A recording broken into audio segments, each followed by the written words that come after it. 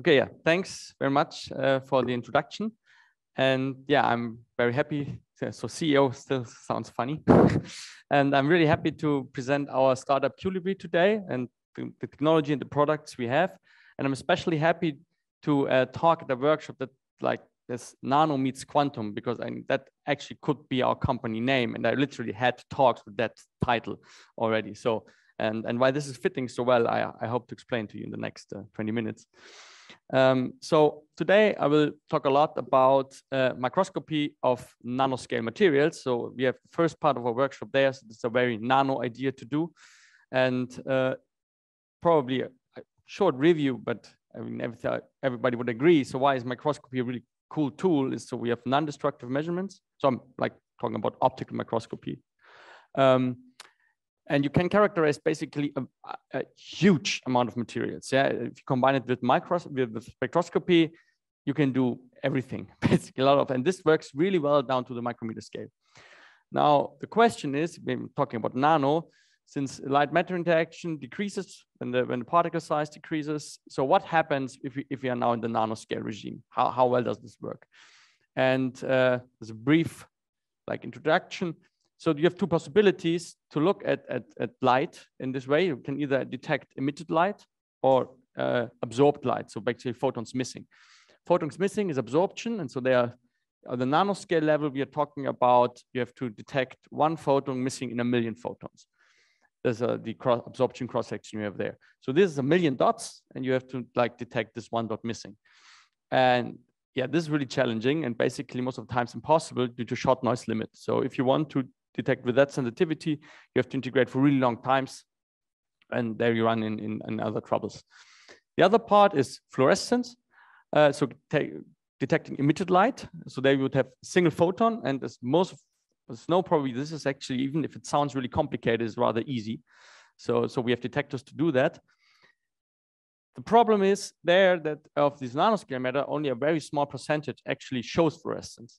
And uh, of these particles, even like probably a small percentage of the energy levels that are interesting to you show fluorescence. So you get only very limited information. And this is kind of, well, in our opinion, we're a bit stuck uh, because actual methods have like many things are not visible at all the, on the nanoscale. Uh, you have incomplete information, it's very time consuming. Of course, there are many really elaborate and, and nice techniques, so like uh, labeling and, and Raman scattering, so that, that can also kind of circumvent that. But they all kind of at the end boil down to these limitations. And we want to, or I think, solve this problem by an absorption microscope that is a factor of thousand times more sensitive than any kind of commercial absorption microscope on the market. And in the meantime, we can do also spectral information of the sample in real time. Uh, so this is a really huge step forward. And the question is, okay, how, how do you get to this, to this level? And this is by using, instead of objectives and lenses, we use uh, optical resonators. And for that, uh, Thomas, our co-founder, um, won the Nano Innovation Award in 2019. And optical resonators is a technology from quantum optics. So here's the quantum part now. Um, I think, I don't know how much Richard talked about this, but I will briefly go through the concept of optical resonators from quantum optics. So basically a resonator, or also called a cavity, consists of two highly reflective mirrors where light bounces back many, many hundred thousand millions of times before being to leave again. And by that, you can strongly increase light matter interaction. And quantum optics is done to, to bring, to couple light and matter in a quantum mechanical way to create new states and do a lot of amazing physics. So, that, I mean, having like, we, we want to increase sensitivity, having bounce back photons a lot of times somehow seems like the right direction. The issue with these uh, type of resonators that they were for a very long time macroscopic. So the mode volume of the standing wave there is on the order of millimeters or, or bigger. So basically you cannot do microscopy with that. So nobody will, will buy a microscope with a millimeter resolution.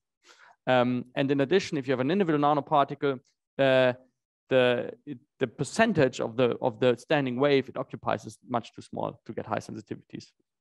So what the core technology of our products is that we shrink one of these mirrors to microscopic size. So this uh, uh, top mirror is, is smaller than a human hair and it's concave. And by that, we have a focus, kind of focus. So the waist of this mode on the sample is near the diffraction limit. So we are somewhere we can really start talking about microscopy. The issue is that these uh, um, mirrors are not commercially available. The cool thing is that they were invented at LMU in the group of, in the chair of Professor Hänsch. And now they are commercially available because we uh, already sell these mirrors to quantum optics groups all over the world. And uh, so if we, we, how we fabricate these mirrors, so we use uh, single mode optical fibers, break them, and then by a like special laser setup, we shoot a hole in the end facet and get these depression, and we can do really nice symmetric structures with a few nanometers deep, uh, micrometer size. Uh, they are, due to this uh, melting process, atomically smooth, which is really important if you want to go to a high number of round trips. And uh, we have multi-shot technique. So earlier was most of the times like a single shot. Now we can multi-shot and basically fabricate any profile geometry we want. Then we do a highly refractive dielectric coating. So it's 10,000 times more refractive than a standard mirror. And with that, we basically we can tune all parameters of our cavity. And this is how it looks like then uh, in, in, in, real, real life. Uh, so we have here, this the fiber. There on the top is the basically the, the it's like beveled, and then there's the micro, and this is the mirror image in the macroscopic mirror. And now, basically, okay, well, how, how do you get light into such a structure? Because I mean, two basically two mirrors that reflect everything. Uh, so no light will pass at all. This is right. But whenever the distance between the mirrors is a multiple of the wave, half the wavelength, you get 100% transmission, at least in theory. So uh, then the photon goes in, bounces back and forth millions of times, and then leaves the resonator again. And uh, if you tune the resonator lengths, you get these uh, transmission resonances to these peaks. So it's always also really ultra sharp spectral filters. And so now we are almost there at the microscope, but a quick detour to a second product. If we now stay with this and really increase the number of round trips, then we are actually in quantum optics because we get the strong light matter interaction. And you can do, do really cool things with it because this is an open microresonator. So basically two mirrors are not fixed to each other. And the advantage of that is, uh, oh, so, sorry, I forgot that. A pair, like what you have now, if you put a sample inside, in this case also carbon nanotube, um, this nanotube now, of course, per only absorbs a tiny, tiny amount of light, but it does it 100,000 of times because we so we circumvent shot noise limit basically by recycling these photons, and by that uh, we get a, a, really rather easily detected detectable transmission signal um, after the resonator. Very important that one uh, here uses like we detect actually extinction, so it's absorption and scattering, mm, depending on which nanostructure you look at that has to be considered. Now the detour to quantum optics platform, which is like our first product that will uh, get to the pilot customer this next month. Um, and the cool thing is basically tune can tune the resonator length. So by that, you can basically adapt to any quantum system you want to look at. Uh, you have an open access, so sample exchange is really easy. You can look at a million different emitters with one resonator. You can do scanning, so orientation on the sample. And because the mirror is microscopic, you have a small mode volume. It's really important because all the quantum effects scale inversely with the mode volume. So it's a really cool platform, but it's actually a, a quite challenging technology. And we actually with this product want to enable researchers that have really cool samples or at the brink of, of going to quantum optics to do that in a very efficient way.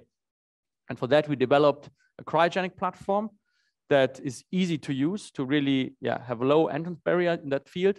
And was very important and really in that field, also in academic, it's a, it's a kind of competition to get these mirrors really with a fixed distance that this has to be really stable because you have to stay exactly on the resonance of your quantum system.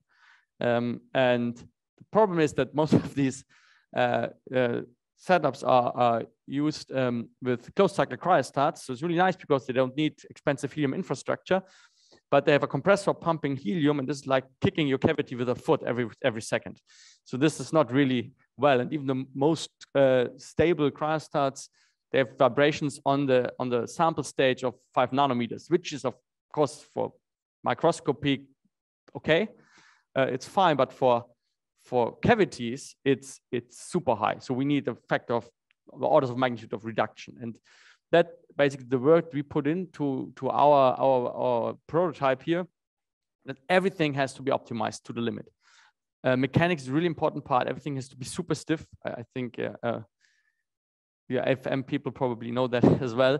So, and, and, like the way cables are attached, everything has to be optimized. And with this, we are um, arrived at like on an optical table at room temperature, there's the, the fluctuation of these mirrors that are a couple of micrometers apart is uh, 100 femtometers.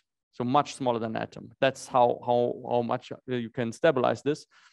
And then at cryogenic temperatures where everything gets worse always, and with the cryostat on, we achieved 15 picometers um, length fluctuations. And this is then translated into optical sub-picometer optical stability. So we are actually there, we can really do really, really cool quantum optics experiments with this.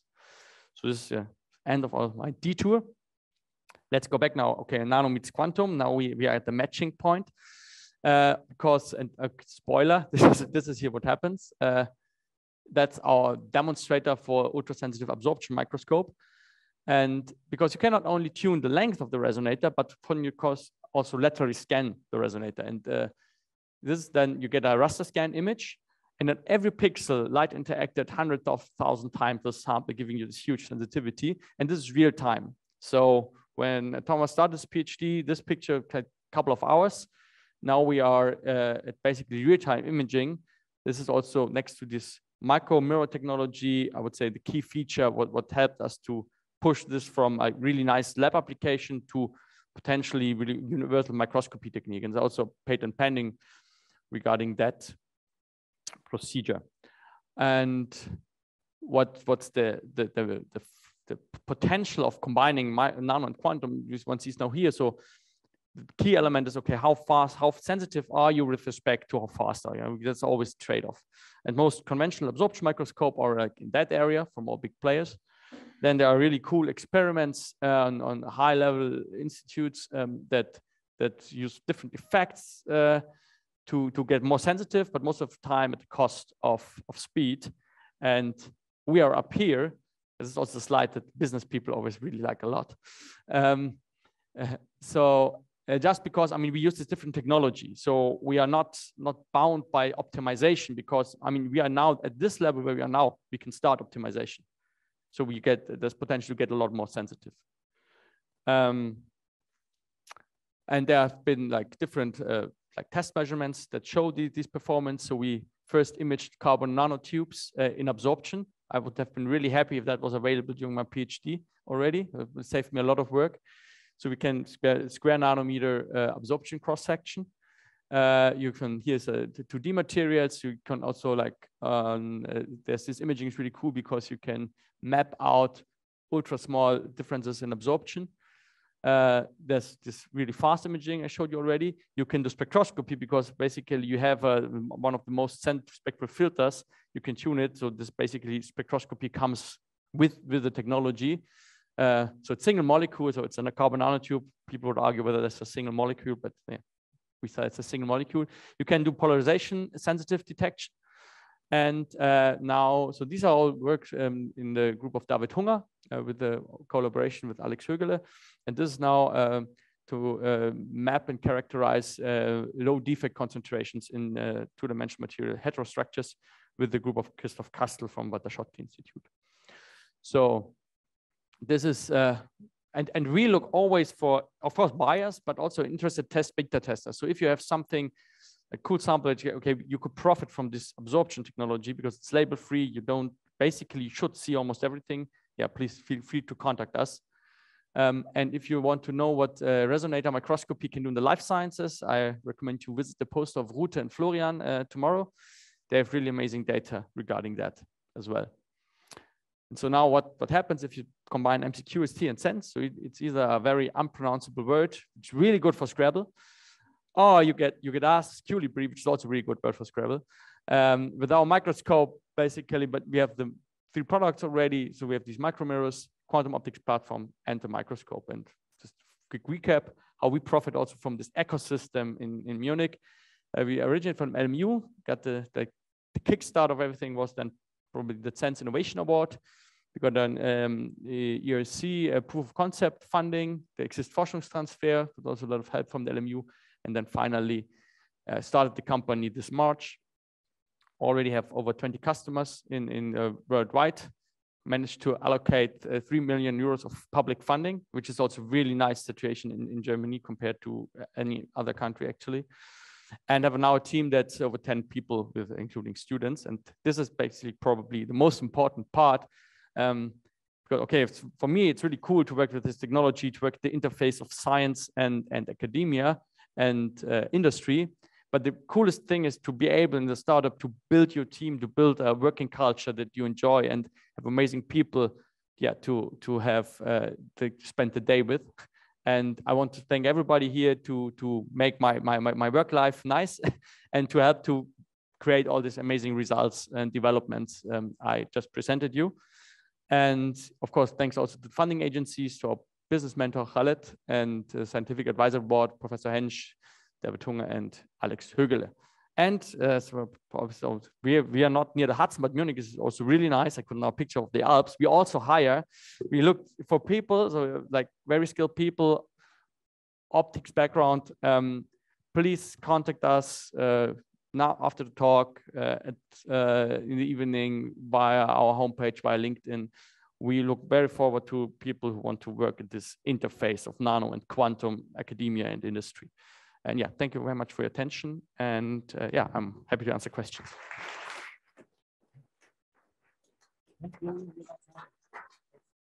Impressive. Questions, please. Uh, okay, let's first take here uh, thank you very much for the interesting talk. I was just wondering, um, what is the typical cavity length that you have or distance of the, the fiber to the sample? So it depends a bit on the, on the application. So roughly for microscopy, we are on several micrometers. Mm -hmm. uh, for, for quantum optics experiments, you want to go small. You want basically touch the mirrors. Um, and but if you were going on more to the life science part, probably you can th thinking of cells, you can also basically them like 50, 100 micrometers even. It basically is limited by the by the dimension of this micromirror, the, the maximum length. But usually we are a couple of micrometers, 10, 20 micrometers. And I guess uh, this is then fixed by the curvature of the Yes, mirror? exactly. So basically the cavity is stable in a certain regime, which is determined by the curvature of the mirror. Yeah. Okay, thanks.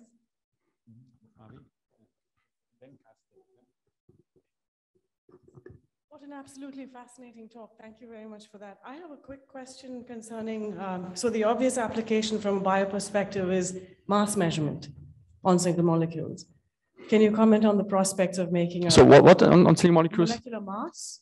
Yes. So using absorption to measure mass, because it, it sort of, there's, there's established techniques, mass spectrometry and so on that just use sort of an optical focus. And that's actually why I had this talk to get into contact with people like this, because we, as you see, have, uh, yeah, we have a strong background in quantum optics nanotechnology.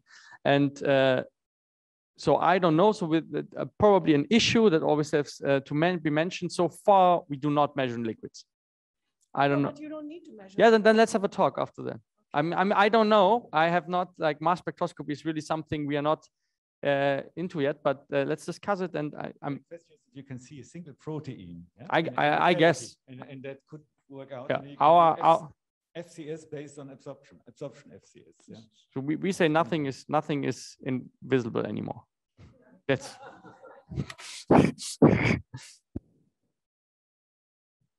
okay, but that's fantastic, Carsten. Yes, uh, thank you. Very, very cool um, technology. Um, I wonder about how you control the distance. I mean, do you have some? I mean, I'm sure you must have some feedback mechanism. How do you how do you control this distance? And maybe the second part of this question is, if you now scan over a surface, um, do you keep the distance constant? And what about topographic effects? I mean, how does, I mean, you, you usually have in this type of um, microscopy with a tip, you have two effects. I mean, the topography and the absorption um, of your sample. So is there a way to, to distinguish uh, what is what? yes and no. so basically, um, the first part of the question. So yeah, um, we keep the distance. So if you do, it's a bit different if you do the quantum part or the microscopy part. I guess you are more regarding the microscopy part. Um, for that, you we actually don't stay fixed, but we modulate the tip over like I don't know 50, 100 resonances, and by that averaging, and so so there we have and and, and you can always you know the laser wavelengths you you put in, and then you always know where you are uh, because this this shifts. Um, you you can always like with every line you can recalibrate. Okay, for for drifts, for example, that's something that you is an issue if uh, temperature drifts or something like that. Um, regarding regarding topography, so I mean we are several um, like tenths of micrometers away, and one has to say with this technology, it makes sense to look at things that are not visible in other microscopes. As soon as you see it in a conventional microscope, well, it's black for us. So so far we did not have um, a lot of uh, so, so really where we, we're getting really close to like where major part of the uh, mode volume was filled with the material. You can actually do that. So you can do this imaging also via matching the dielectric, basically change in dielectric environment, because this reduces the optical path length or increases it and um, thereby do imaging. Uh, the pure to topography, uh, like the distance we have is so far not, not something you we, we, we have to take into account because basically we, we just look at the transmission. So how much is absorbed and be that the changes are not so so significant regarding that. Okay, thank you. Is that all part of the questions answered? Okay. No? Okay, everybody is hungry. But if more ideas coming up, so Jonathan is still here, um, ready to discuss. Maybe I can yes, ask a third second, question. Um, so is there, I mean, if you if you were to image something like a cell or, you know, more bulky thing, or like I'm I'm interested in nanoparticles, um, is isn't there a danger that you kind of destroy your your tip, like when you move over it? No, so brittle or something, and because it's a glass fiber, isn't? I mean, yeah, I so, suppose it easily breaks off if you Basically, the, the biggest danger is non-trained PhD students in handling the fibers. And we put actually a lot of effort into reducing.